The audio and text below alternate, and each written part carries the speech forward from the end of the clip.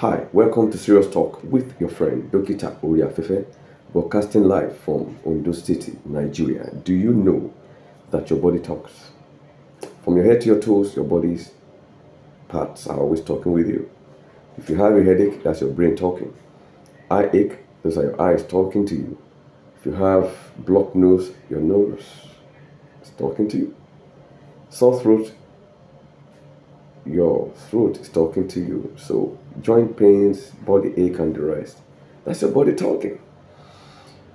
Before you have that sudden collapse and faint while preaching or at a rally or you're in the office at a meeting and so on, your body must have been talking to you.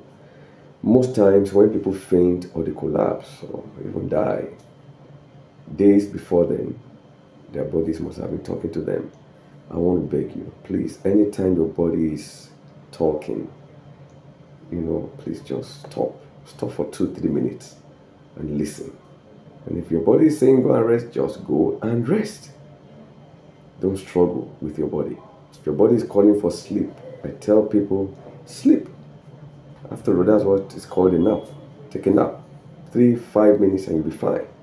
Anytime you're confused at work and you can't remember what, you know, you were doing, or you're struggling with numbers, with figures, pack it aside.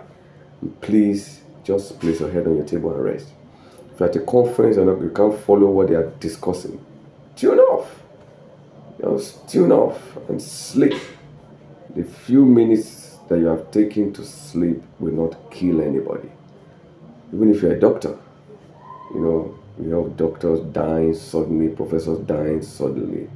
It's because of work overload.